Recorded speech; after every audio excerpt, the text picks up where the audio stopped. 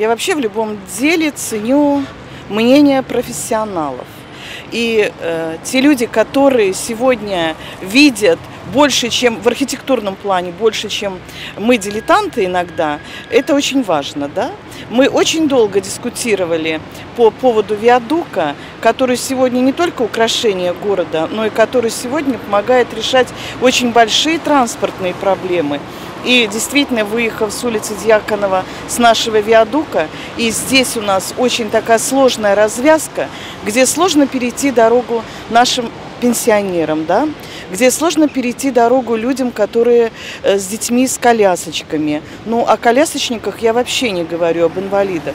Поэтому то, что в городе Великие Луки – первом городе Псковской области предложено сделать подземный переход, это очень-очень важно и нужно. Я это всячески поддерживаю. Э, честно говоря, я отрицательного мнения в своем кругу об этом не слышала.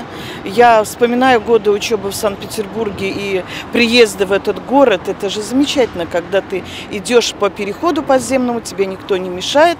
А здесь я уже знакомилась со всей информацией, что будет э, создано все условия для людей с ограниченными возможностями, для э, детей с колясками, для матерей с детьми с колясками. Поэтому, на мой взгляд, другого мнения быть не может. Э, важно, чтобы, наверное, на данный момент, чтобы потом было представлено архитектурное решение, чтобы великолучане могли посмотреть, убедиться, что это действительно красиво, нужно. И я думаю, что это все будет для города прекрасно. Я расцениваю это исключительно положительно для города Великие Луки, потому что с введением в строй путепровода действительно здесь э, получился очень оживленный перекресток. И светофоры, ну что греха таить, они не справляются с таким потоком автотранспорта. И э, данный перекресток необходимо разгрузить.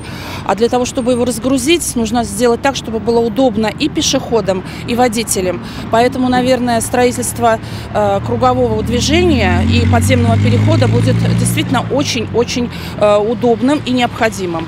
Эм, во многих городах, в частности и в Пскове, и в других городах, есть есть круговые развязки, и они очень удобны. Они удобны для водителей, э, но они не, не совсем удобны для пешеходов, потому что э, поток автотранспорта очень серьезный на круговом движении. А вот строительство подземного перехода как раз позволит сделать так, чтобы удобно было и пешеходам, и водителям. Обезопасить пешеходов прежде всего необходимо. Организация кругового движения на пересечении проспекта Ленина и улицы Дьяконова позволит обеспечить большую пропускную способность по сравнению с регулируемым перекрестком. Организация подземного пешеходного перехода является самым безопасным вариантом для движения пешеходов, поскольку напрямую исключает пересечение транспортных и пешеходных потоков. Внешний облик города за последнее время очень меняется, и нас очень радует то, что в городе появляются новые современные объекты. И совсем недавно открылся виадук. Это тоже внесло много изменений. Люди наш, нашего города им стало более удобно добираться до работы, до учебы. Но в то же время это внесло оживление на нашем перекрестке, который находится рядом с нашей школой. И реконструкция перекрестка для нас как никогда актуальна, потому что большинство детей переходят дорогу именно здесь. И безопасность ребенка, наверное, это самое важное. С появлением подземного пешеходного перехода без, э, вопрос безопасности он будет решен, и решен положительно. Появление нового современного объекта на сегодняшний день оно становится просто необходимым.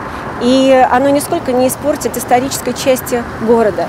И мое мнение, что город должен развиваться, должен расти. Мы хотим, чтобы дети возвращались в наш город. А они будут возвращаться только тот в город, который развивается, становится современным. И именно сюда тогда вернутся наши дети. И родители давно об этом говорят. И первое, что всегда возникает у родителя, это безопасность его ребенка. И когда ребенок переходит дорогу, и ты волнуешься, э, не случится ли что-то, то э, мы услышали только позитивные отклики от наших родителей. Очень многие родители – это автолюбители, когда они детей привозят на своем автотранспорте, то есть это район Щерса, Герцена, и добираться до, на работу им приходится через этот перекресток. И утром здесь создается огромная пробка, что мешает родителям вовремя попасть на работу. Перемещение пешеходов и перемещение автолюбителей, оно не будет взаимозависимым. Город должен развиваться, как бы эта инфраструктура должна развиваться, экономика города. И это будет правильно. Я живу в этом городе уже 18 лет, и много улучшений я заметил. Я за перемены, ведь если в нашем городе что-то строится, меняется, значит, что он развивается вперед. А это очень важно для нас, для молодого поколения. Я уже примерно вижу, как будет выглядеть перекресток Дьяконова-Ленина после реконструкции. Ведь все вот эти нововведения очень важны для нашего города. Я совсем не против, чтобы в нашем городе построили большое круговое движение и подземные переходы. Это современное решение. Благодаря таким проектам наш город будет похож на маленький мегаполис.